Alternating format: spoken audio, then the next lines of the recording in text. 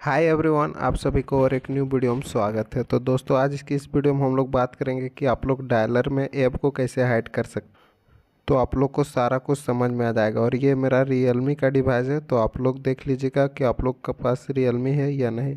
तो बहुत easy step है। तो सबसे पहले तो आप लोग को सेटिंग में चल जाना है दोस्तों।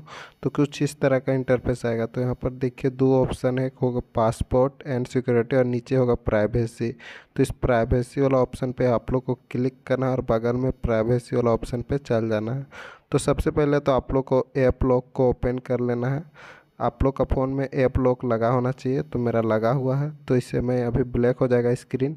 तो यहाँ पर देखिए, मेरा एक ऐप में ऐप लॉक लगा हुआ है, जैसे ऐप मार्केट, अपना मार्केट में लगा हुआ। तो आप लोग को क्या करना है, आप लोग को तो सबसे पहले ऐप लॉक लगाना पड़ेगा, ऑन करना पड़ेगा, इस सेटिंग को, उसके बाद आप लोग को बैक चल जाना है। तो देखिए, एक ऑप्शन है हाइड ऐप तो इस पर आप लोग को क्लिक करना है और अपना जो पैटर्न है, उसको डाल देना है।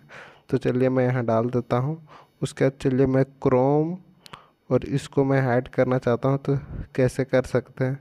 तो आप लोग को यहाँ पर देखिए इतना तो क्रोम ये सब और देखिए ड्राइव को भी मैं हाइड कर देता हूँ। तो आप लोग को मेरा ये हाइड हो जाएगा, अगर मैं बैक कर दूँगा तो आप लोग को इस सेटिंग वाला ऑप्शन पर चल जाना है। और देखिए चेंज एक्सेस कोड होगा तो इस पर आप लोग को क्लिक करना है। और हैच लगा के आप लोग जो पासपोर्ट लगाना चाहते हो नाइन ज़ीरो नाइन ज़ीरो उसके डन कर देना। तो हम लोग का फाइनली ऐप जो है वो हाइड हो चुका है। तो अब जैसे मैं फ़ोन करूँगा H nine zero nine zero H उसके बाद देखिए मेरा ऑटोमेटिक से ऐप यहाँ पर खुल जा रहा है।